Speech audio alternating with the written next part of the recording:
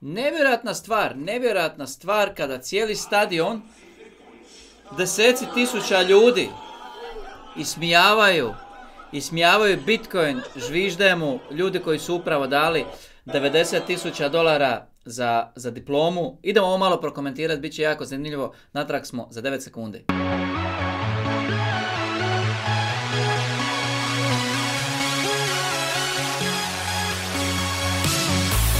Veliki pozdrav svima, možda ste već i vidjeli ove snimke koje dolaze e, iz Amerike gdje je jedan pun stadion e, ljudi koji su tek završili svoje fakultete, gdje na spomen Bitcoina cijeli stadion žviždi Bitcoinu i smijava Bitcoin i tako dalje. Nevjerojatno mi ovo izgleda i zato želim ovo malo da prokomentiramo. Hvala vam lijepo što ste dali povjerenje ovom kanalu, što ste ovdje, ali morate znati ništa ovdje nije bilo, nije i neće biti financijski niti kripto savjet. Ako tražite savjet, ovo nije pravo mjesto za vas.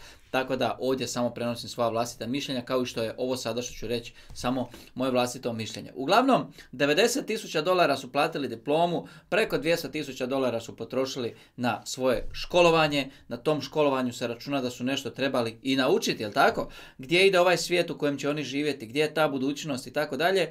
I onda u toj zemlji biraju predsjednika od 90 godina da ih vodi u budućnost, čovjek koji treba biti već u umirovljeničkom domu, a na spomen Bitcoina uh, cijela jedna generacija reagira ovako. Meni je to doslovno nevjerojatno.